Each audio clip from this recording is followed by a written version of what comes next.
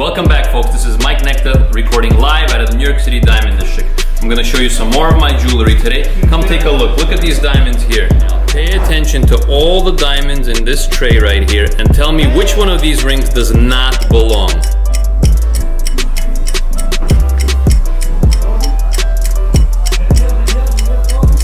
Which one doesn't belong? Three, two, one. Zoom in on this one right here. It's a real diamond just like the rest of them, but the only difference is this is a cushion cut, a brilliant cushion cut, and all the rest of these here are square emerald or rectangular emerald step cut diamonds. The difference between a brilliant cut and a step cut diamond is the facet arrangements inside. The step cuts all look like the facets are arranged like steps going down into the stone or out, out of the stone. Not the same thing when you're dealing with a brilliant cut. The brilliant cut has a whole bunch of trapezoid or triangular shaped facets reflecting light out of it. Which one's better? It's a matter of preference. It depends on what you're into. This is a little busier. This has longer facets, which gives you more flashes of white light, and I feel like the brilliant cut gets you a balance of the white light plus a little bit of the uh, prism colors, the colors of the rainbow coming out of it. Anyway, let's start with this one since it's the odd one out of the bunch. 10.02 GIA certified cushion cut diamond. Color and clarity are IVVS2. VVS2 means a trained gemologist looks inside this with a microscope and has a hard time finding the inclusions. Square emerald, or also known as an Asscher. They look very similar to the Royal Asscher, which is a branded cut, but they're square emerald cut diamonds. The one here is 11.91 carats in the center, G color. And the one here is 8.61 carats in a J color. You see the size difference? You see the color difference? The J color is slightly yellower, but not a yellow diamond because when you have it by itself, it does, uh, it is classified as a white diamond, all right?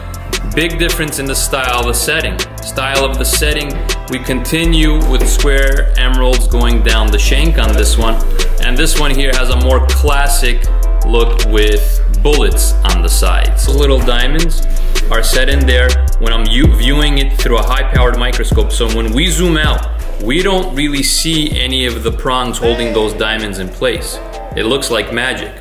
It's a high-powered microscope that's not available to all jewelers. So cut. This is the three stone past, present, future setup. Seven. It's about seven carats total, but five carat in the center. Huge 8.81 carat emerald cut with step cut trapezoids on the sides. This is a GVVS. Mike Nekta, M-I-K-E underscore N-E-K-T-A, that's the Instagram. And then Mike Nekta just put that into YouTube. Anyway, what's cool about this ring is that it's a diamond eternity band which means diamonds go all the way around and they're chunky emerald cut diamonds.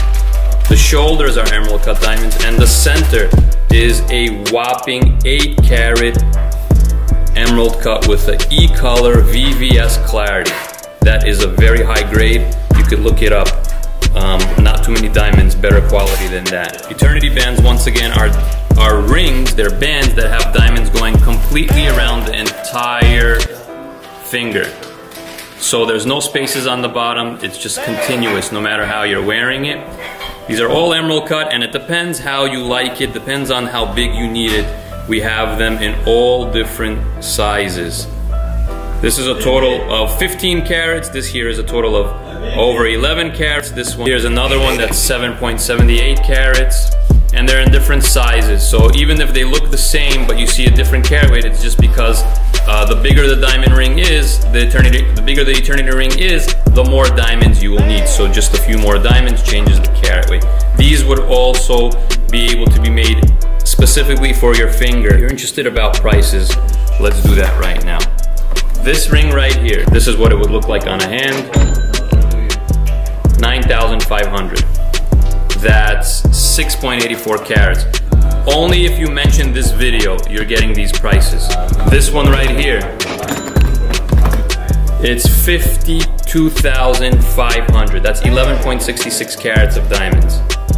really good shapes and as you can tell the color is amazing on them.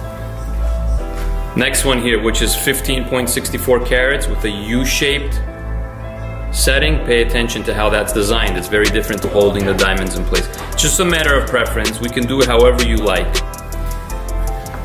15.64 carats of diamonds here, 18 karat gold. The diamonds in this thing are huge. As you can tell, if you mention this video, you could get something like this for 68,500. That's a wire transfer by cutting out the credit card fees. I'm gonna pass those savings right along to you. That's only fair. Okay, so take a look at that and compare it to the one I just showed you previously. 9.68 carats divided amongst 18 stones. You know what that comes out to be? Each one of these is over half a carat. 0.53 to be exact. That's the average carat weight of each one of these diamonds. 18 karat gold.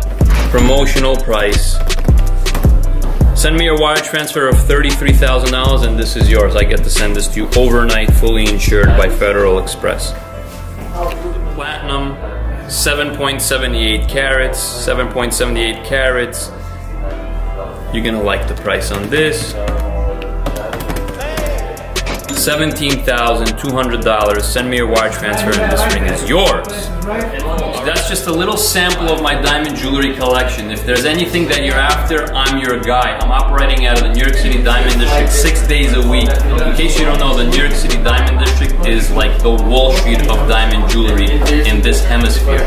Give me a call anytime, 212-921-4647. Challenge me. I'm here to help you. Thank you. Again.